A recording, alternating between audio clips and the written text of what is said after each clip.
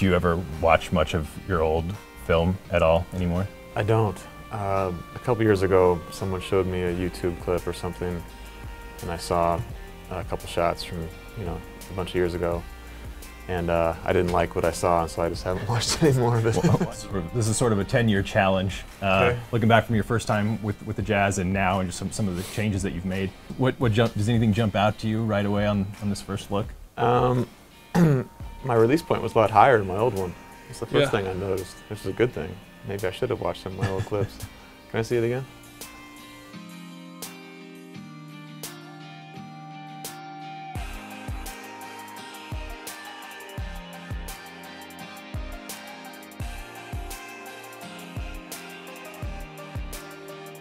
You can tell you really have made a change from there. Yeah, this is like all tighter. being back here. Yeah. Just feels a little, I guess slides a little, a little back then. Trying to go get the ball more now. You know what I mean? Like that's probably the biggest thing. Strong, That yeah. one, it comes to you, not when you're trying to go get it. How much of, of these changes have been just things that you've, you've drilled down on, and or how much has been sort of necessity out of, you know, whether it's injury or just kind of the game changing?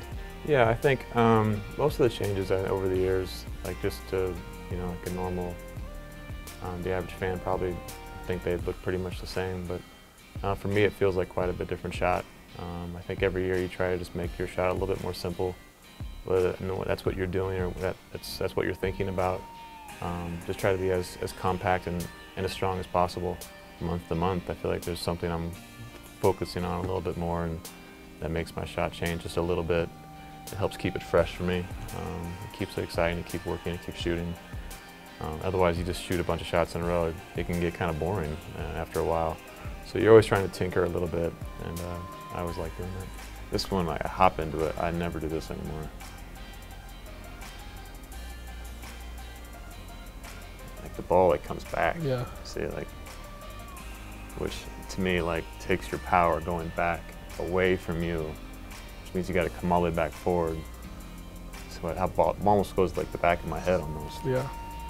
Like now, I try to keep it. Yeah, like that in one on the left, it doesn't ever get really past your nose. But do you have a checklist as, as you're going through? I mean, it's so, happens so fast. I don't know that you have time to kind of go through a checklist. Yeah, so there's a over the years I've kind of tried to break down a lot of my shot, like all the different parts of it. Um, obviously, you can't think about all those things every time you shoot, but usually you try to find like usually like before the game or in practice, I'll try to think about one, find one or two things where I feel like if I'm really locked in on this certain mechanic, I, I feel confident about making it during the game. So whether that's you know how I'm catching the ball or um, a higher release point, uh, landing in front of the line, um, getting my shoulder square, um, how I'm squeezing the ball, how I'm finding the ball. Just if I try to find one little thing and then just kind of try to focus on that. And it helps. It helps give me give me confidence. And you miss a couple and you can go back to that thought I had before the game where it's like, but if I do this, it felt really good earlier. And uh, I'm gonna focus on that on that one aspect and um, just to give you a little boost mentally. One more time. So on that one, something that me and Vince have talked about a lot lately, is just trying to have really wide feet, just for a little bit better balance. And the first one there, I was shooting a, a two-point shot. Maybe the balance isn't quite as important. I'm really kind of trying to turn a lot faster. But on the three, on the on the one now, you know, having a wider base just helps give you a little bit better balance and a little bit better power, um, which is important, especially as you shoot the ball farther out. Um, I'd say the biggest thing I've noticed just differently is maybe and Kyle's talked about it, like the way he loads his, his shooting wrist. Um, but I know like the one consistent is kind of Kyle's approach to the way he works daily on, on his shot and being a player and um, in the weight room and everything has always stayed consistent. I think that's why so much of this is is similar and there are differences in, in each shot, but so much of it is the same too. How much have the type of shots changed?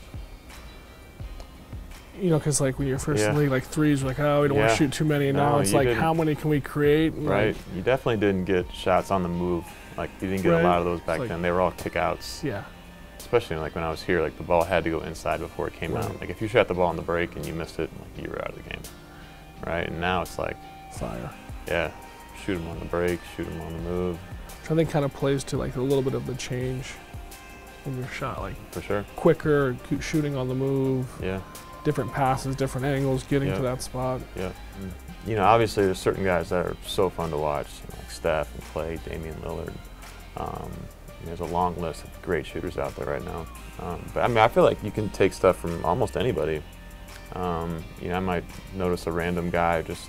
I just really like how he's locking his wrist as he's shooting. Or I feel like he's got a really strong hand on the ball, like he's catching it really strong. And that'll just be like a little reminder to be like, hey, that's something that I gotta, you know, kind of think about today. Um, ooh, go back to that one again.